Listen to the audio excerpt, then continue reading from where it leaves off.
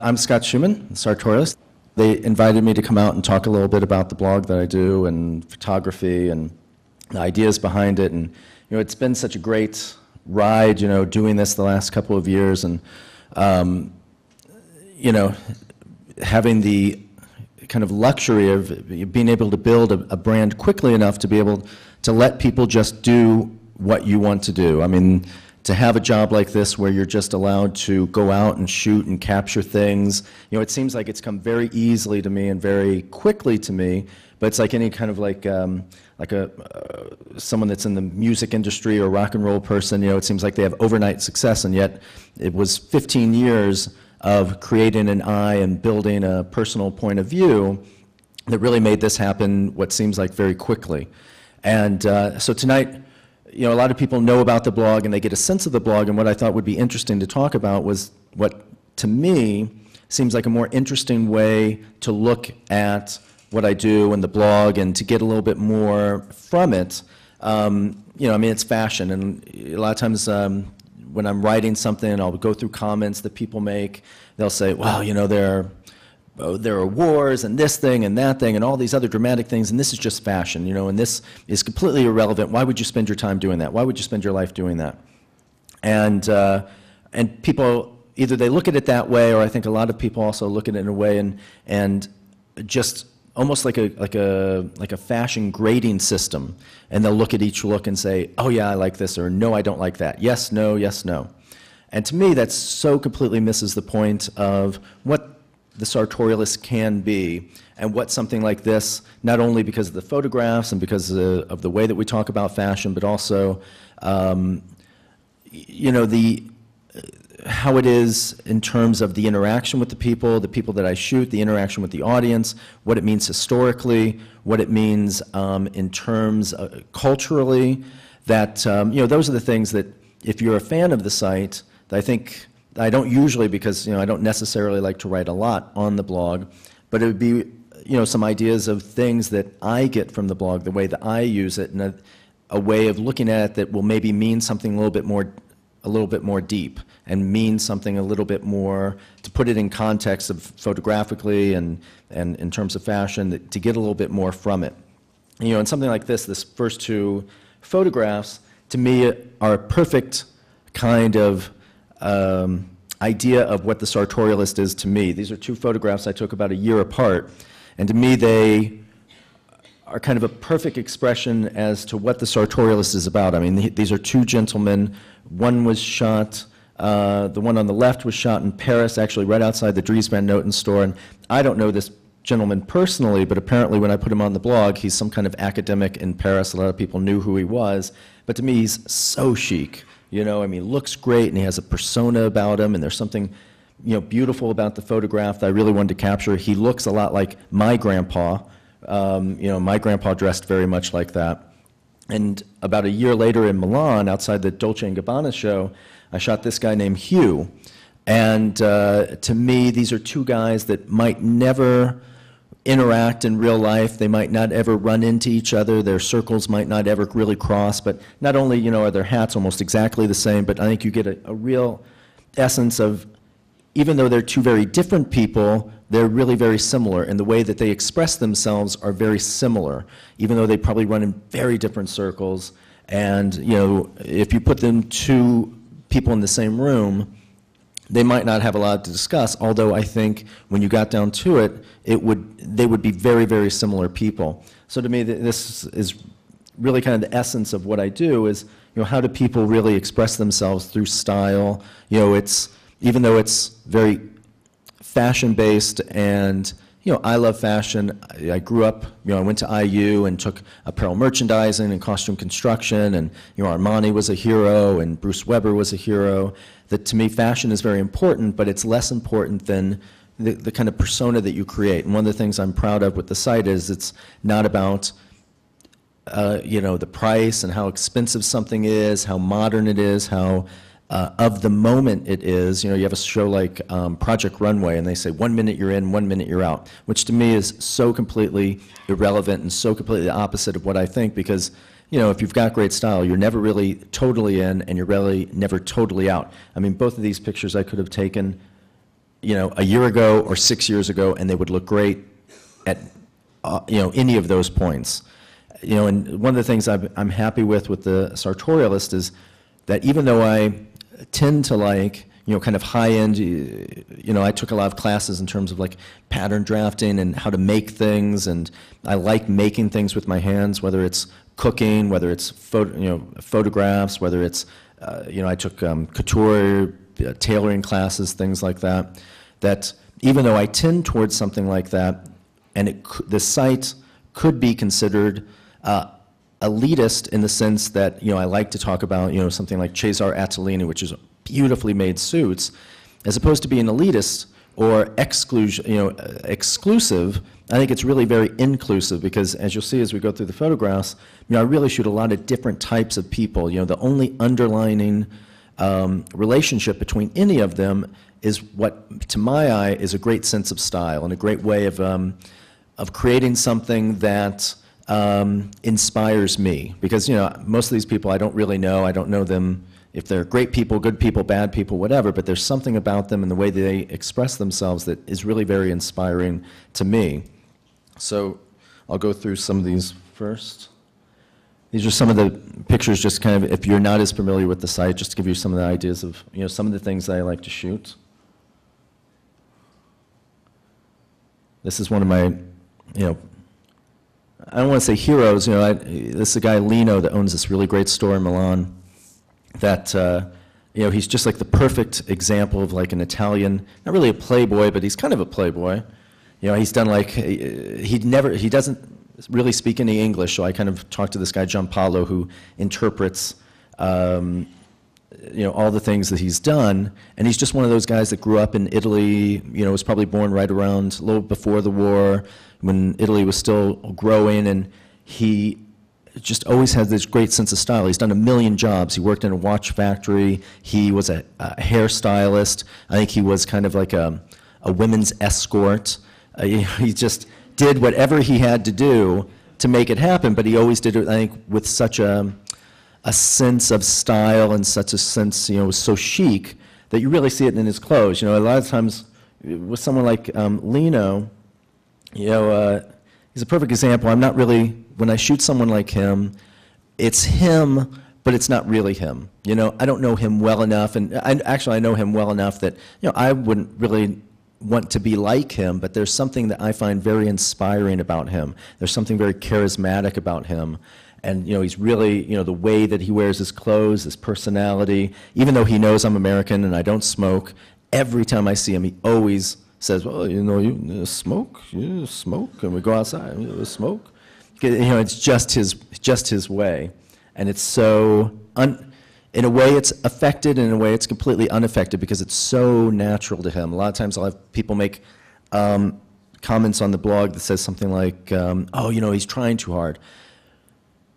And I think that's a really hard thing to say about someone that you don't know because a lot of these people, it's so natural. And when it's really real and when you can capture it in a photograph like this, when it's so natural to them, it's not trying hard. It's just who they are. It's part of who they are. Emmanuelle Alt, who to me is just like, you know, the coolest of the cool. You know, I'm a, huge fan. One of the things that um, has been really rewarding for the blog and for me personally is, you know, I uh, worked in the business for quite a while, and you know that was really great for me in terms of creating my eye and what I thought was good. I think the reason the blog has grown so quickly is not only because the quality of the photography, but also the, the edit of what I choose to shoot. All the people like Emmanuelle and Carine and people that, you know, really pretty important players in the business, they say they really like the quality of the photography, but they really like what I choose to shoot and what I choose to, to um, point out and points of um, you know details, things like that. I like to talk about, and they are always very accommodating when I want to take their picture because what they've told me is they always know that they're going to be on the blog with other people that they feel are really cool and really chic, and that it's created a, a sense of. Um, uh, you know, I always felt that if they gave me work to do, it was a, it was kind of a stamp of approval, and now it's kind of become all the way around that they feel kind of a stamp of approval when they show up on the site and you know we shoot it in a particular way but you know someone like Emmanuelle is um, to me like uh, kind of like the dream persona of someone that's really built a brand of chic. And since that, you know, I think Paris Vogue is one of the best magazines that when you know those people, they do an incredible job of translating who they are as people onto the page. Um, you know, when you look at Paris Vogue, it's, it's sexy, it's cool, it's exciting, it's modern, and it's very much who they are as real people. And you know, a lot of times when you work in a company as big as Condé Nast, a lot of that can get watered down, and you want to try and play it a little bit safe and take it a little bit easy. Where you know, Paris Vogue is just big enough that it's important, and I think it's by far the most influential fashion magazine, but it's small enough that I think they're not really afraid to go out and do something that's a little dramatic and a little sexy and a little over the top. And you know, she's a perfect example of this. You know, when we're at the shows, and she gets out of a car, and she's usually getting out of a car with Melanie, who's an equally incredibly chic, beautiful young lady, and this girl Geraldine, who's also so cool. And I don't know if you've seen that movie Reservoir Dogs when the guys are like five guys are all walking, they look so cool. Well, that's what they look like. To me, they are like the fashion version of Reservoir Dogs when they're just so cool. When they walk into the show, it's like the sea parts because they know like these are the coolest of the cool, and yet they're the nicest of the nice. They're the most, uh, you know, down to earth, funny, you know, they're always willing to offer you a ride, whatever. It's, to me, they are the exact opposite of what The Devil Wears Prada. If you look, watch a movie like that, I've certainly met a lot of, not a lot, a few people like that, and this is the exact opposite, and yet they are, to me, the most influential, and she's like kind of the, her and Carine are kind of the leaders of something like that. This is a guy named George Cortina, who's a, you know, pretty major stylist, and, uh, you know, I've really been happy that, you know, the the blog has become, you know, Time Magazine called it one of these influencers. And you, I spend so much time by myself, walking around, shooting by myself, and, you know, you hear that stuff, but you don't really believe it until you go to a, I was at a, an appointment with designers from J. Crew, and, uh, and we were talking about khakis, and I said, oh, you know, I really want, you know, a khaki that's more slim, especially in the thigh, that's a little more slim. I said, you know, I, I don't know if you've ever seen this picture that I did in Milan of this guy, George Cortina, and he's got these really slim khakis and a blue shirt, and he stopped me right there, the, the main designer, and he looks at one of the other designers and he says, bring out the look. And, uh, and he goes, I know that picture. I love that picture. And they have in their presentation that they do to all the magazines, everybody, a look totally based on this picture. It was khakis that had been cut slimmer, a blue shirt like this, except they put it with a tie. And, uh, you know, it's so funny. You know, I love J. Crew, especially when I'm shooting. I'm, uh, you know, running around on the street in the summer and it's hot and whatever. I dress a lot in shorts and linen shirts and buy a lot from J. Crew. So when you have someone that's the, the head designer saying how much he loves specific parts of your work and that it's actually influenced their design, it's really, it's kind of weird, you know. It, it comes around uh, in a different way. And, you know, something like this is, you know, such a great example of something like that. This is a shot I just did the other day in, um, in uh, in the south of France. And it's, to me, a, a real example of, you know, being in the moment. You know, as the sun was setting, it was setting, you know, to the, to the front of her. She had all these lights around her. You know, it, it's about the look, but it's about the setting. You know, for me, it's, it's about inspiration. When sometimes people want to try and pin me down and say, you know, what is this site about? You know, are you showing clothes or what are you trying to do? And the only thing I can say is I, I just try and shoot what inspires me and, and helps me dream. You know, a picture like this, you know, I like her outfit, but I just like the whole setting. Something like this just to me looks so cool. It's something that you want to look at and, and, um, and makes you dream about how you want your life to be. And, um, you know, uh, this has been kind of a perfect image because it's not, you know, I've photographically, you know, I've, I haven't darkened it that much. But you know, a lot of times when I take photographs, I'm not really reporting. I think the difference between what I do in terms of being a street style photographer, I don't really consider myself a street style photographer. I don't really consider the site a street style site. To me, it's just a blog that I do to shoot for inspiration. So a shot like this, the difference between what I do and a lot of other people is, you know, they, I think a lot of times shoot in a way that's more reporting. And maybe they don't get the lights in at the top, you know, and they don't make sure that she's standing in this walkway. This was just a walkway that was walking to the tent where this fashion show was on the beach in at Hyères. And to me, all these other little details were more important to set up the dream of what this photograph would be than whether her pants were khaki or whether they were blue and whether her sleeves are rolled up or not. To me, it's the whole image, you know, it's the way the walkway kind of takes you into the picture and zooms off that way. I love those kind of lights. I don't know why, but uh, it's the difference between when you're reporting and when you're doing something inspirational. And so, you know, a picture like this, when, you when I take a picture like this, you know, the best thing that can happen to me is when you go meet with someone and, you know, some designer and you see your pictures up on their walls. A, lot of times, you know, I used to work with a lot of designers, and when I had a showroom, they, when you would ask them about a particular collection, they would say, oh, you know, I'm dreaming about this girl, and she does this, and she does that, and it's always very abstract and I think the reason a lot of designers like the, my site is it's one of the first times where they've had a chance to really print and look at pictures of girls who are real and uh, really personify who it is that they want to dress because a lot of times who you're dressing and who you want to dress are two different things. And so yeah, when I was at, in Hyères, I met um, Riccardo Tisci, who's the designer for Givenchy, you know, and I mean, he's doing great work. Givenchy looks really good. And, um, and he's a total fan of the site, which was great for me, you know, because, you know, you hope that people like him, you know, I mean, Givenchy's a major brand and doing major work. And the fact that he not only knew the site, but really knew the site, and he could cite specific photographs and things like that, says to me that, you know, pictures like this, they don't happen all the time, but when you get them, it's really worth it, and it's something that affects affects design happening right now, and then hopefully will affect designers, you know, 50 years from now or 100 years from now. So one of the things I like to try, you know, what I'll do is I've got a couple of sections of things that kind of break down the site in different ways, and just the ways that I, the ways that I look at the site.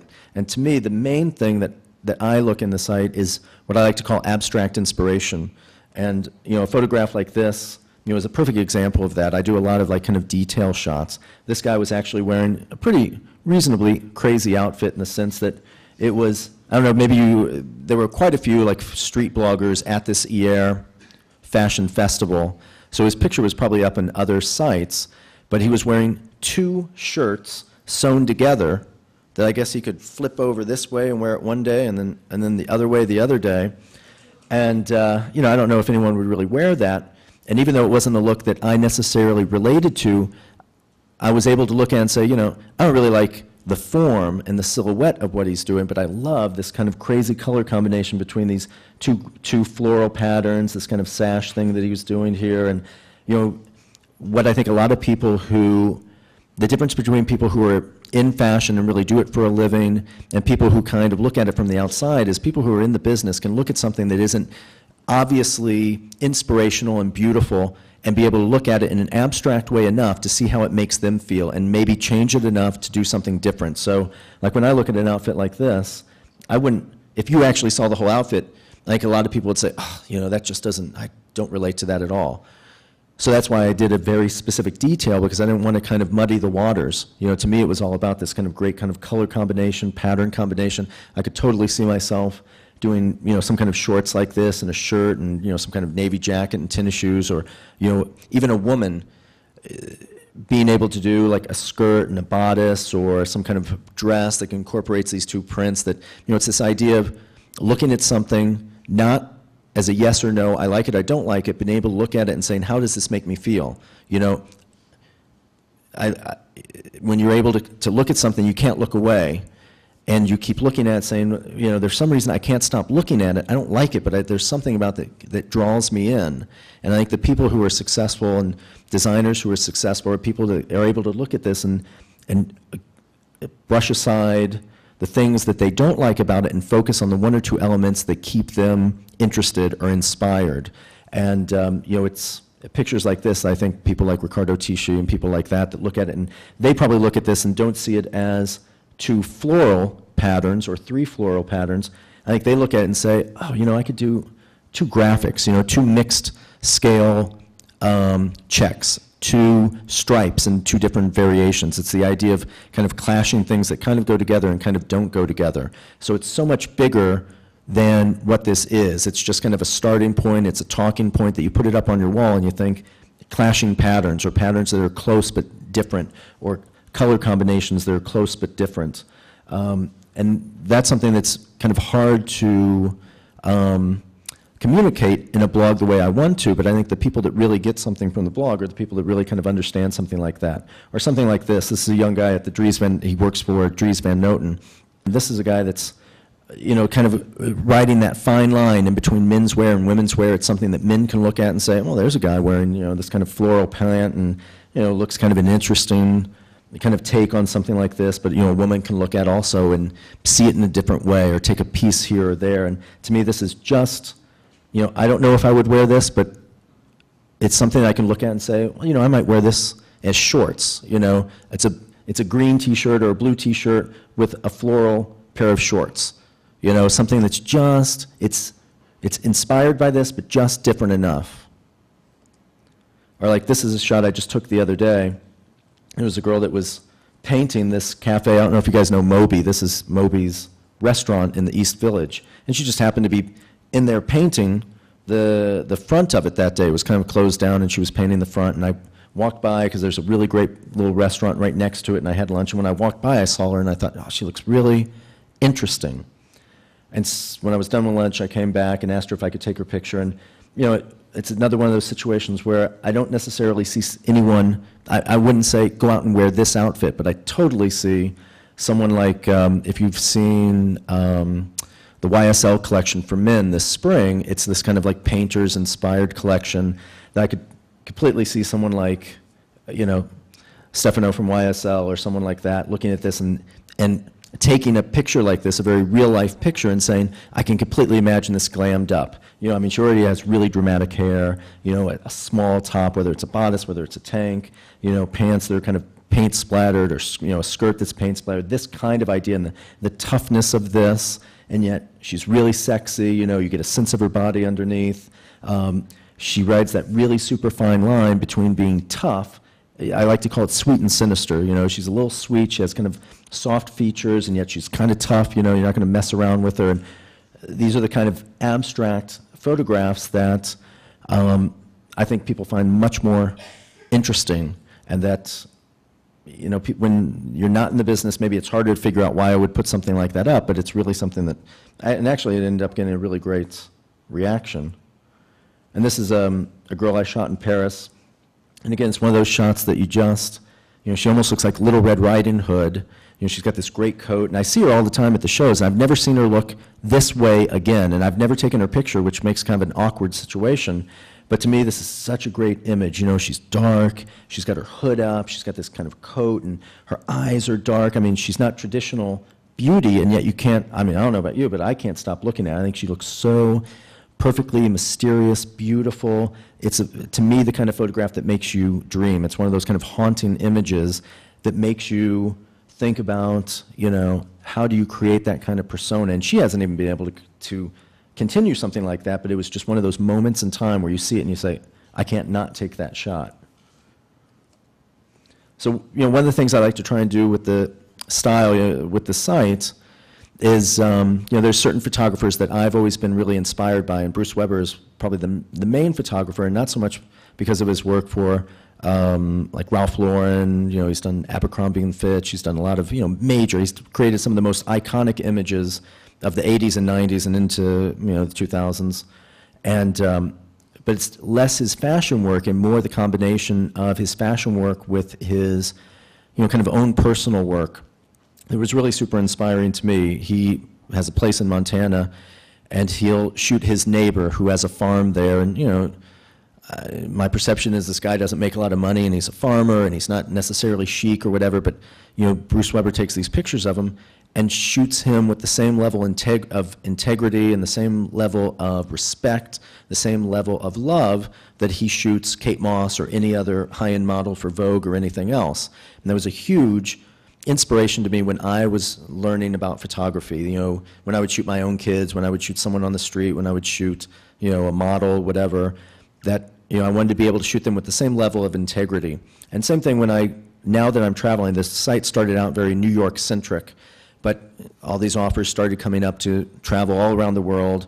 Um, this first one is a shot that I took in India, and, you know, I really had to ask myself, do I want to go to India and shoot, you know, cliched images of girls wearing saris and put it on the blog and say, oh, you know, isn't this girl great wearing this sari? And, but I've seen images like that. But what I haven't seen are images like this, you know, girls who, you know, to me, you could put her anywhere. You could put her in Paris. You could, she's actually from Mumbai, but she could be in Paris, she could be in New York, she could be anywhere. And some people on the blog had a difficult time saying, well, you know, if you're going to shoot someone like her, why don't you just stay in New York? But to me, I've seen those pictures of beautiful women wearing saris, and I certainly was not, I wasn't not going to shoot it if I thought it was a particularly interesting color combination or if they had tied it in a different way or shaped it in a different way. So I was open to shooting that, but this is the kind of shot that I haven't seen from India. You know, I haven't seen shots of girls like this that, you know, are so cool and so chic, and I actually got to know her a little bit um, while I was there, and she's a lot of people talk about Audrey Hepburn as like a really great kind of style icon, and she's one of the closest girls I've ever met that has that kind of persona, the way she moves, the way she talks, her outlook. I mean, it's difficult in India when you're a young businesswoman. She owns a boutique in, in Bombay and Mumbai. And, you know, even just getting a taxi, she said, is always very frustrating for her because the men, the guys that run the taxis, you know, are still very chauvinistic. And, but she always had such a positive point of view. And I think you can see that in her posture and the way she holds herself. Um, you know, once I decide I want to shoot someone, once I decide I want to shoot them, then I really try and figure out how to take the very best picture I can. And I don't usually shoot for too long or take too many images, take too many snaps. But I like to try and capture something a little bit about them. And it's not so much my photographic skill, but I think a lot of the people I choose to shoot are just so in touch with themselves that that's just her. That's the way she stands, her posture, everything. It's just so natural for her, and I think that's why it's so inspiring for a lot of people, is that you, you look at this and her dress is beautiful. She's you know even tinier than I am, and in something like this, you wouldn't really think a girl that was so tiny would be able to carry off such a long dress. Um, and do it so well and look so chic and still look long and still look really beautiful. Her arms look long. I think she, in this photograph, looks a lot longer than what she really is, but she has created such a, a personal brand and such a personal style that she's every time I saw her, she looked great, like a million bucks in a lot of different ways of dressing. But you know, she was just so in tune with herself that um, to me it was incredibly inspiring. And to me, you know, you could put this girl anywhere and she would just be, you know, the most chic girl that was walking into the room, except for you guys. Um, and this is like, except for all the women here. Um, this is in Beijing, uh, at kind of this kind of art community, and again, it's this idea that you know, uh, India is kind of turning around, or not India, China is kind of turning around, but you know, there's still girls that my perception is that she didn't have a lot of money, that this is not about brands, it's not about expensive clothes, but it's really about this kind of beautiful combination of textures and layering and um, color. And, you know, I love the combination of her dressed so kind of quiet and pretty and, and kind of understated in this really kind of rough um, background that um, to me, you know, I think it really says something globally that a lot of people, even though this is an area that a lot of people have never been to, can totally relate to this image. And I think a lot of girls, whether you're in Austin, Texas, or you know, Chicago, can look at something like this and, and be inspired and completely be able to relate to something like this. That in certain ways, you know, there's globalization and we're all becoming more alike, but at the same time that I think I take a lot of pictures also that are still very specific to certain areas. I put a picture up the, the other day of a guy in um, who had a very specific way of tying his tie that you really only see in, in Italy. It's a very kind of loose knot. You know, the side, you know, the um, dimple is kind of always over to the side. And, you know, I've done this long enough that even if he was in New York, if I walked up to him on the streets, you know, I would have approached him in, in a completely different way. I probably would have said, you know, uh, ciao, you know, uh, molto elegante, whatever, to at least get him to know, like, you know, I kind of understood who he was, and that really helps when you're shooting on the street and you're approaching people that you don't know. If they get a sense that right away you know a little bit about them and you understand them a little bit, it really helps. And um, so we, there's a certain globalization, and yet one of the things I try and capture on the site are things that are still very specific. Things that are very specific to Paris, things that are very specific to London or Milan. One of the other things I think is really interesting about the site, not only you know because it's photographic, but also because of the interaction with the audience, are things that will end up becoming, they're important now, but I think are going to become even more important in a, in a, in a historical document 50 years from now, 100 years from now, because when you put these pictures up, you know, something like this, or a couple of these other images, you know, like smoking right now is a big hot, hot point issue. So whenever I put a picture up, doesn't matter how great the outfit is, you always get a certain amount of con, you know, comments like smoking kills, smoking's bad for you, smoking's this, and you know, who knows what smoking's going to be 50 years from now or 100 years from now. But because I can take a picture and put it up an hour or a day later, what we're capturing is what people think about certain issues right now that people will be able to look back at, you know, 50 years from now and say, you know, smoking was really an important issue at this time. People felt really, really in, involved, you know, and really related to this issue at this particular point. So even though this is a fashion photograph, you know, quite a few comments on this particular photograph or the one before or something like this, um, were driven around that, you know, here's another really chic guy smoking, you know, the sartorialist, are you glamorizing smoking? You know, I don't think, you know, the, this guy is actually a pretty well-known photographer. He was, this was outside of the um, Giambattista Valli show in Paris, and he was just standing literally like this, and I guess because he's a photographer, I was walking up to him and I was just telling him, don't move, don't move, don't move, and so he just stood just like that. And to me, this is a photograph of a guy who's just so super chic that, you know, so many people still smoke in Europe that I don't really notice that, and I'm not going to change the shot in any way because you don't want to miss that. That is the shot, not, not his hand up, down, side, whatever. That's the shot. But, you know, that's a really important issue right now. I didn't put one up here in fur, but like fur is another thing, or, you know, a complete surprise to me is um, what an incredible hot topic uh, flip-flops are. People love flip-flops or they hate them. And, uh, you know, it's something that you, because we're in the moment right now, you don't really think about, but, you know, if we, there's never been a time when someone was kind of shooting real people on the street that you had this kind of instant feedback from the people looking at these images that you have right now. You know, Lartigue was a major photographer in Paris in the turn of the century in the early part of the 1900s. And he shot people that he thought were fashionable, but he was a pretty young guy, and he didn't necessarily at that time work for Vogue or any fashion magazines, so it's hard for us to be able to judge whether or not the people he was shooting were also considered by fashionable people to be fashionable at that time. To us, they just look like such a different way of dressing that they all kind of look fashionable. But we don't really have a read on what people at their time thought. Now, you know, because I'm lucky enough to be able to shoot with people like Paris Vogue and American GQ, that gives me a certain stamp of authority that people I think trust my eye in terms of me shooting what I think is particularly stylish at this moment. But because of the format, we have people who can also put their comments in and what they think in this moment.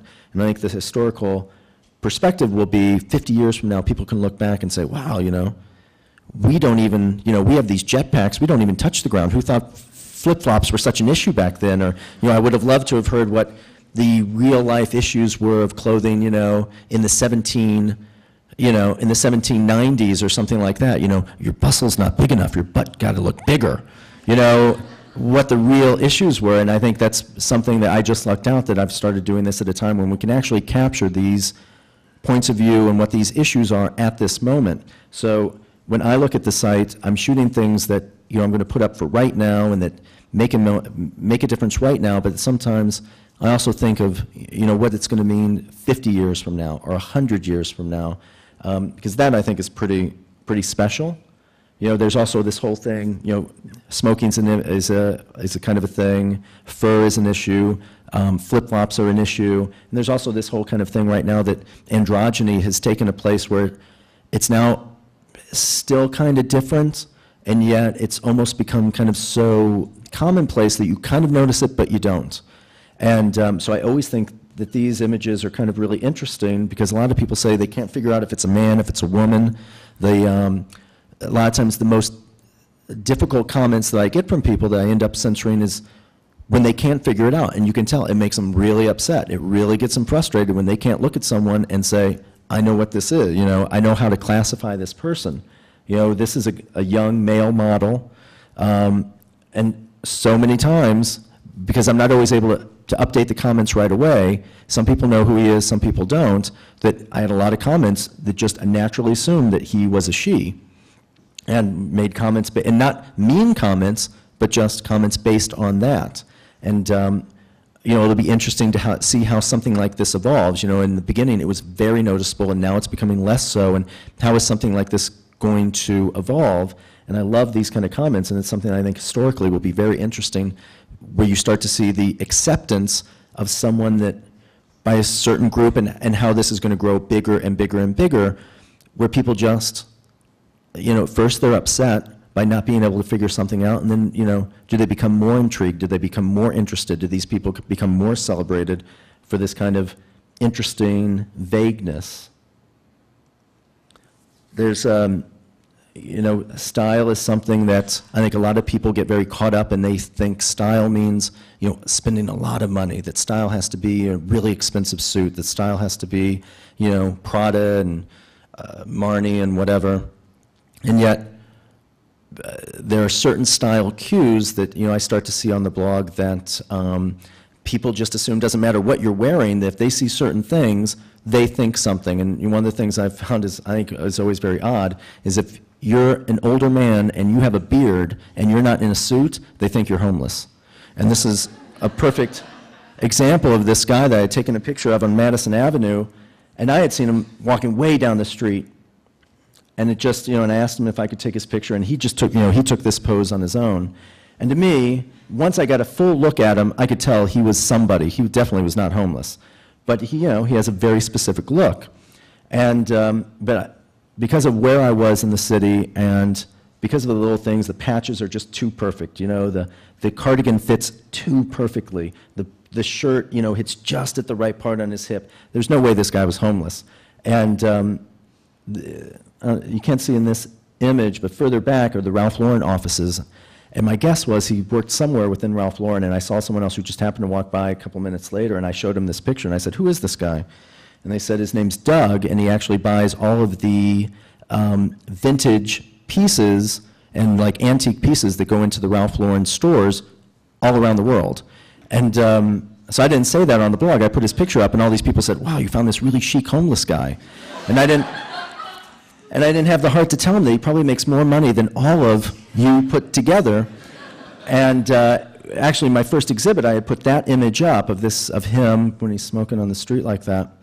And a guy from the New York, I think it was the New York Observer, he didn't ask me before he wrote his review, and he did, you know, kind of a like a paragraph on him and how I included this homeless guy in my show with all these other people, and I'm sure he read it, you know, because it's a reasonably well-read paper. I'm sure someone showed it to him, and uh, you know, I think it's such an interesting thing when you look at something like this. The perception of what is stylish and the perception of what's not, or how people perceive certain people. That even though you know maybe they don't have a lot of money and maybe they do a particular thing, you know, you wear heels or whatever, these little funny elements that make people think, you know, you've got more money than you do or you've got less money than you do. And I think it's something that's always very interesting when you, when you, when you look at this blog, what those things turn out to be. Another thing that, you know, I didn't really uh, set out to do when I started the blog because I just, you know, I feel very, I feel very free because it's my blog and I don't have any overhead. You know, I don't have to fire any people. That I feel completely comfortable to go out and shoot what I want to, when I want to, however I want to. If I am not feeling it that day and I want to go have, you know, three margaritas for lunch and stumble around for the rest of the afternoon, I can do it. And um, and it's being open like that that sometimes, you know, you stumble into the best situations. And one of the things I hadn't really, you know. I, I constantly try to, keep, the hardest thing I have to do is try and keep my mind open. I know if I have a GQ page done, you know, due within the next couple of days, you know, I'm kind of looking for stuff in the GQ page, but I've got to keep my mind open to seeing whatever it is. You know, it could be a guy playing basketball, it could be whatever. I feel my only job is to shoot things, to keep open enough to myself to shoot whatever I feel inspires me. One of the things that has always inspired me are you know, people of great style, and a lot of times it's these people, you know, they, people say, are you, are you born with style, or is it something that you learn and develop? And, you know, after doing this for a while, if you've seen pictures of me in second grade, you would know that you're not born with style, that's something you can develop. And um, a lot of times I think the most stylish people are these really elegant, you know, older people, and one of the things that a lot of people have noticed about the site that I didn't really intend on doing, but just happened, is um, you know, so many fashion magazines are just constantly pushing the idea of, you know, how to look younger and how to maintain your youth and all of this. And I mean, the fact is, none of us are getting younger. We're all going the opposite direction. And the, an image like this, I always get so many comments, you know, it always gets such a great reaction because I think people want to figure out, you know, how do you grow old gracefully? How do you get ready for the next step? How do you do that? Because, you know, trying to, to, to, to recapture youth is just it's not going to happen. And a lot of times people have, as they get older, you know, find a certain confidence in themselves and find a certain way of um, feeling comfortable with themselves that really come across in these images. So a woman like this, you know, this was one of those images that, you know, I don't usually beg for a photograph. This was one of the few that I was begging to take her picture because this was in Milan and she spoke hardly any English. And I kept telling her, trying to explain to her, you know, pointing at my camera, telling her I wanted to take her picture, and she kept saying, oh, no, uh, mi brutta, you know, that she didn't feel beautiful. Uh, and I had to keep trying to explain to her, no, I think you're very pretty, very pretty, without making her think I was hitting on her, which is a very fine line. But, um, you know, when you have images like this that you can capture, you know, it's so rewarding when people look at this and say, oh, you know, either they look and they say it reminds them of someone that they're related to, or it's something that they want to grow into. You know, a guy like this in London, it's just such a character. You know, you know he's gotten to a certain point where he just he just wants to do his thing, and yet he's lived a certain life, and is you know you really see these kind of influences. You know that he's just going to do his thing, and something like that I find a million times more inspiring than you know a 15-year-old wearing another graphic T-shirt. You know, if there's one thing I think that separated my blog from a lot of other blogs, and you have street style blogs, is it's usually a bunch of 20-year-olds shooting other 20-year-olds uh, because that's really their limit of, of experience where, you know, I'm a little bit older, you know, I've been around a little bit more, and I'm a little bit more open to a lot of different things that that's something I think it's been a really great um, addition to the site. And when people say, you know, this is just fashion, you know, how can you spend your time doing this? You know, I look at images like this and think, you know, when was the last time that people of a certain age were really celebrated for who they are, their natural beauty, their experience. You know, when you look at old Esquire magazines when they were still doing the illustrations, you know, there was always these really guys who were accomplished and elegant and a little bit older and and um, and I think we've really lost that. So, you know, I look at something like this and think, you know, this is, I think, an important social thing. And when you have young people who are now looking at people who are older and saying, you know, that person inspires me. To me, I think I'm very proud of that. You know, I'm, i think it's really something that's a little bit different.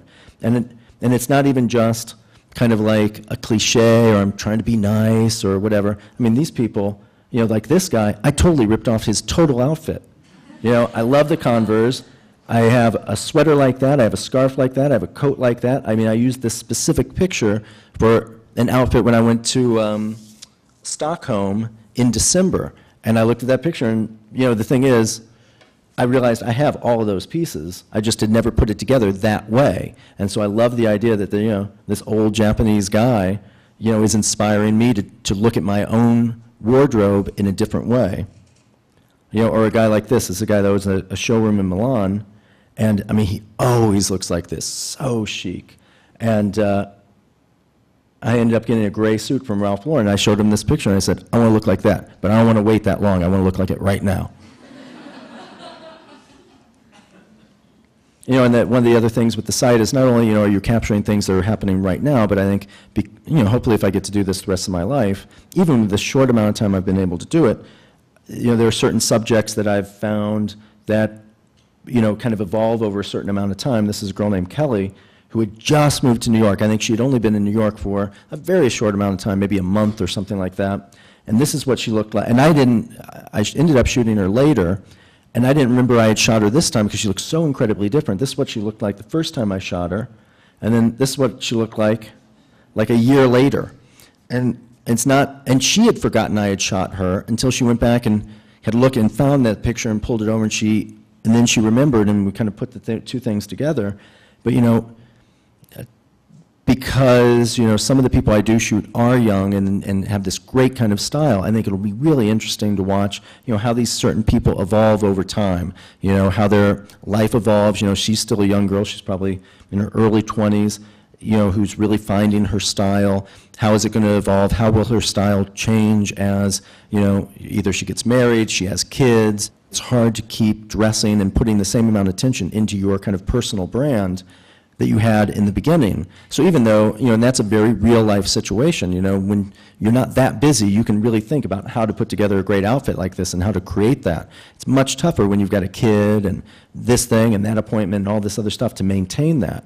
And that's, you know, that, you know, only the few, the, the short amount of time I've been doing this, there's probably, you know, 15 or 16 people that would love to shoot over the next 15, 20 years to really see how that evolves and how these certain people evolve and kind of keep that kind of timeline that you just don't, again, I, I can't really think of many people historically that have shot something like that that is not only a character study of a particular person, but also a style study. I should, that's good, I should trademark that. Uh, you know, and here's like a, you know, someone who's become like a star on my site, this woman Giovanna, who, she's a young Italian stylist.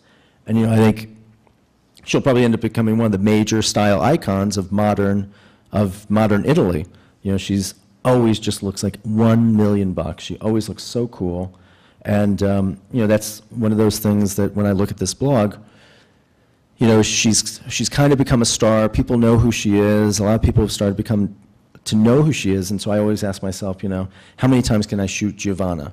But at the same time, I always when I'm at the shows and I know she's going to be there, I always wonder, you know, what you, what's Giovanna going to wear today? You know, what's um, Anna Dello Russo going to wear today? What's Emmanuelle Alt going to wear today? So, you know, I have to be still remain true to myself, and if I'm still interested in it, I still give myself the the reason to shoot something like that because I I do think it's very interesting to capture this moment in time because you know when I'm gone or when she's gone, it, this will still be a very kind of interesting moment in terms of you know what she was wearing, what she you know she has access to a lot. They don't give her free clothes, but people like to be seen in her clothes, so she has access to a lot of things. The other one of the other important issues is you know what relate what translates from what you see in the runway to what people like her who are really you know kind of the influencers what they do choose to wear, and I think that's another thing that. Um, will be interesting as the site evolves is what's the difference between what you see on the runway and what people are really going to wear. And even her, you know, she's certainly not a real person. She's kind of iconic in her look, but you know, that's still that kind of relationship between what's the difference between what's runway and what's reality and what is the dream of, you know, what you see in the runway and how do you really make it into your real everyday life. And um, hopefully, you know, she'll be someone that you can watch over the next couple of years. So that is my presentation and, uh, you know, kind of an idea of some of the ways that I think about my own blog.